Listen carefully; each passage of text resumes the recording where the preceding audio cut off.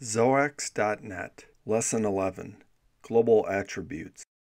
We have seen that some elements have attributes, which are usually given as name value pairs.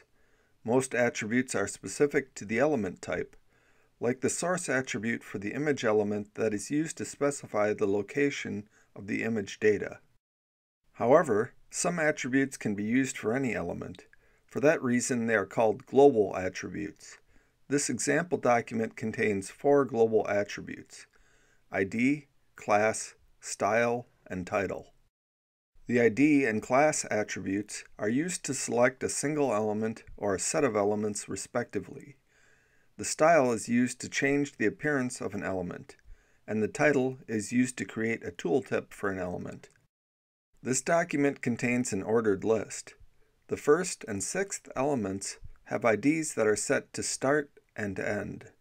They also have links set to each other. The odd elements all have their class set to odd.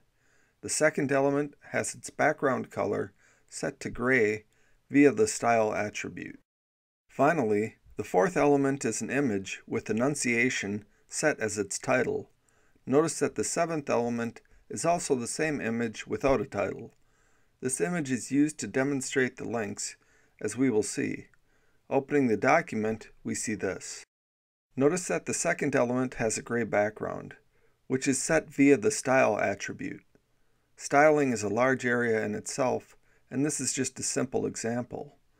Now if we hover our cursor over the image that we put the title on, we see the title as a tooltip. Also, the first and sixth elements are links that are set to each other. So if we click the first one, we go to the second link. If we click the second link, we go back. The ID attribute can be used like this. It can also be used to select a single element for other purposes like styling. Recall that we set the class of the odd elements to the class value odd. Since they are all of the same class, we can use that class to style all of those elements together. For example, we can put a red border around them with styling like this, but we will leave the actual styling to our CSS lessons. In the second HTML example, we will demonstrate four more global attributes, access key, tab index, draggable, and content editable. These attributes are more useful for programming, so I will just give a quick demonstration here. The access key attribute here allows us to select this element with the Alt plus X keys. Furthermore, all of the elements have a tab index attribute. The values determine the order that we step through them when pressing the Tab key. The draggable attribute set on this fourth element allows us to drag it with the mouse. Finally, the content editable attribute here allows us to edit the content in the fifth element. Opening the document, we see this. Pressing Alt plus X selects the second element like this. Hitting Tab selects the rest of the elements in the order of the indices, like this. Clicking the fourth element allows us to drag it like this. And clicking the fifth element and typing allows us to edit it like this. In our last example, we will demonstrate the remaining global attributes, hidden, data, dir, lang, spellcheck, and translate. These are more specialized attributes, so I will just cover them quickly. If you do not understand them, do not worry about it.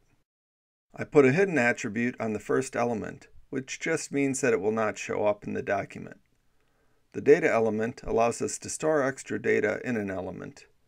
It will not show up, and the asterisk means that we can put anything we want after the dash, as we show here.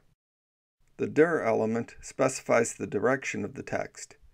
English is read from left to right, but some other languages are read right to left. I set this third element as RTL to show what it does.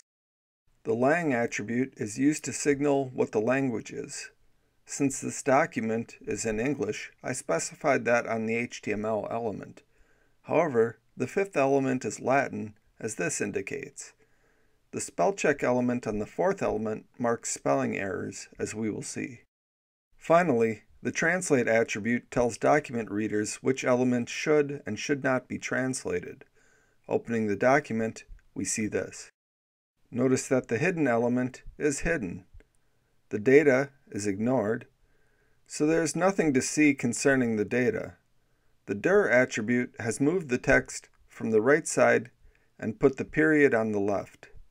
The lang attribute does nothing visible. The spell check underlines the misspellings if we click it. Finally, we note that translate is used by interpreters and does nothing visible.